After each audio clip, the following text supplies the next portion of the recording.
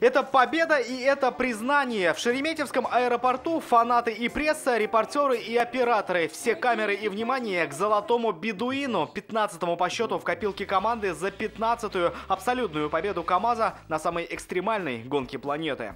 Спасибо вам огромное всем, что вы сегодня с нами, что вы сегодня приехали встретить команду и две недели были рядом. Две недели и 8 тысяч километров, зной и аргентинское бездорожье. На Дакаре у татарстанцев новые личные рекорды. Во второй раз самым быстрым стал Эдуард Николаев.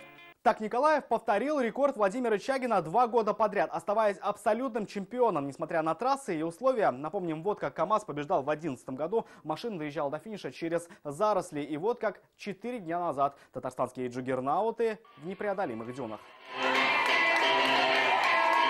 Теперь можно и выдохнуть. КАМАЗовцы приземляются в родных челнах. Не было выпущено и шасси, но самые близкие люди ждали уже у трапа.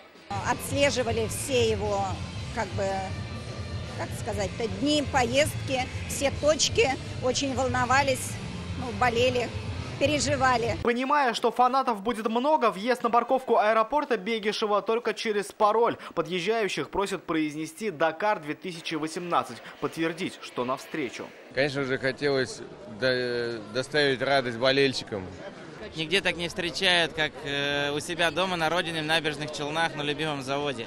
Тепло и долго. Ожидаемо так и встретили в Челнах, где до последнего верили, что их гордость вновь станет первой. И в этот раз ради российской победы КамАЗ-мастер обскакал самих себя, побив собственные рекорды. Рамиль Шайдулин, Дина Газалиева, Александр Ярошов, Ильшат Аюбов, Альберт Шафигулин, ТНВ, Московская область, Челны.